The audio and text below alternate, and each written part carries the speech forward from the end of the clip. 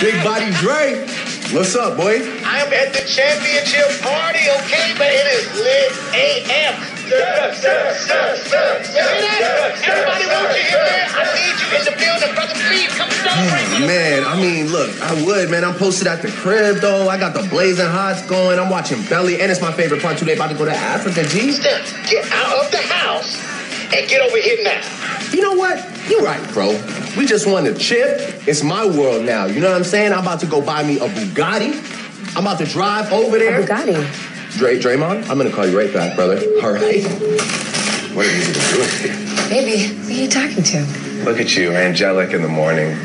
Ayesha, mother of my children, the love of my life. How are you? Who are you talking to? Is that Draymond? You know the rules. No phone calls after 10 a.m. unless it's. Goddard, Steve Harvey. Yeah, I know. Well, let me guess, he wanted you to go to some party or.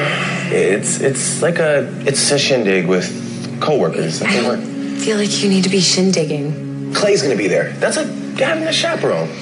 I need my tea. Seth?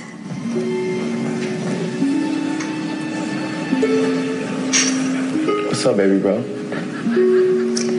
Hello. Hi, Seth.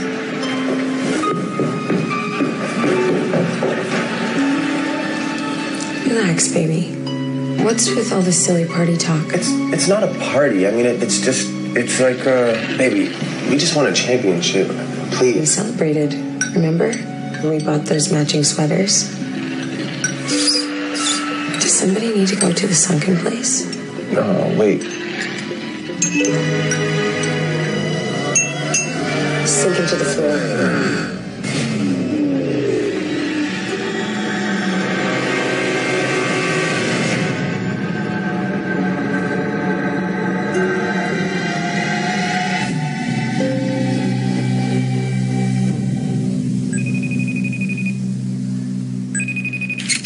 What up, bro? Where are you at? This party is still. Oh, oh, that's Ayesha. Hey, Ayesha. I think that was you the whole time. Look, can I tell you something? I love your cooking show.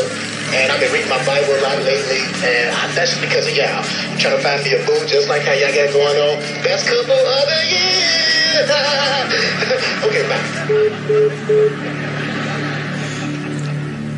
I'm glad we stayed in tonight.